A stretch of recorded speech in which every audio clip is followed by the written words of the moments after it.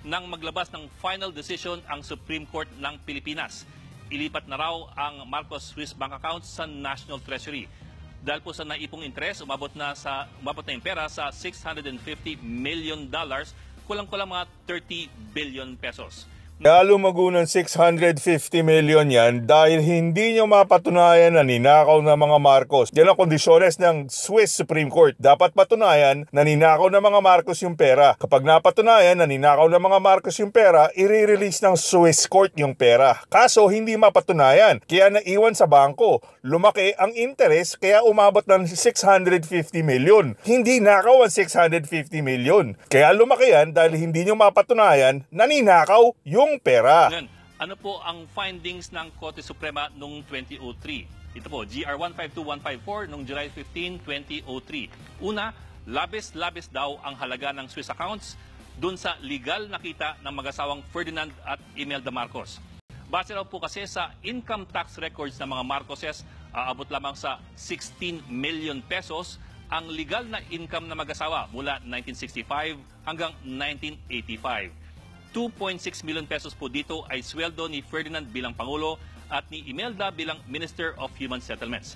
Ang sweldo po kasi ng Pangulo noon, 60,000 pesos per year uh, from 1965 until 1976 at 100,000 pesos per year from 1977 until mga 1986.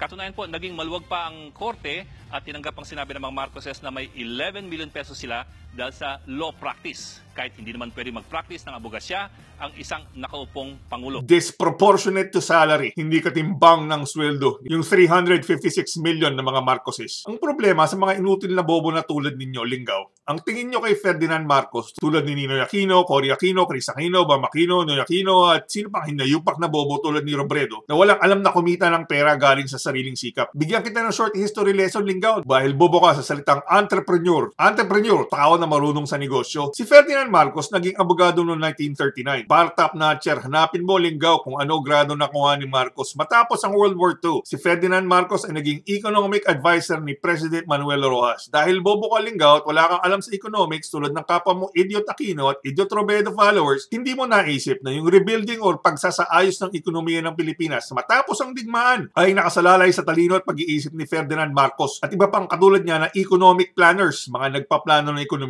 Uulitin natin linggaw dahil bobo kayo sa kasaysayan dyan sa TV5 from 1946 to 1949. Si Marcos ay economic advisor ni President Manuel Rojas. Mabibilang mo sa isang kamay kung meron man ang mga ekonomista sa Pilipinas. Nag-aaral pa si Benito Legardo Jr., Jose Jobo Fernandez, Cesar Virata at Gerardo Sicat. At dahil walang ekonomista ang Pilipinas noong 1946, isa si Ferdinand Marcos sa mga nagplano ng pagbubuo ng ekonomiya ng Pilipinas matapos ang World War II. Bakit hindi asindero ang mga Marcos tulad ng mga Lopez Ayala, Rojas, Aquino at Coangco? Dahil ang ginamit ni Marcos na paraan upang kumita ng pera ay maging negosyante, entrepreneur, gamit ang talino at dunong niya bilang abogado. Kaya yung sasabihin mo na disproportionate yung salary ni Marcos dahil bobo ka sa pagiging negosyante or entrepreneur ni Marcos mula 1946 to 1965. Nabasa mo lang yung decision ng Supreme Court, pinaniwalaan mo na lahat. Pinatunayan mo lang na bobo ka, Linggaw. Kasama ng mga writers mo dyan sa TV5 na bobo rin sa kasaysayan at economics. Tinitingnan nyo yung dokumento ng Supreme Court pero hindi nyo sasabihin yung tunay na konteksto ng buhay at pagiging negosyante ni Marcos. Bobo rin kayo sa free market capitalism. Ang kalayaan ng tao na kumita ng pera ayon sa kanyang kakayahan sa lipunan. Dahil wala kang alam sa negosyo at paano kumita ng pera tulad ng mga bobo sa Supreme Court na nagsasabi ganito, ganyan lang dapat ang kinita ni Marcos. Hindi nyo nga mapatunayan na magnanakaw ang mga Marcos. Pati kinita ni Ferdinand Marcos sa pagiging matalino na abogado, pakikialaman nyo pa. Dahil mga inutil kayo sa free market capitalism. Sabihin nyo kay Pangilinan, pag-aralin kayo ng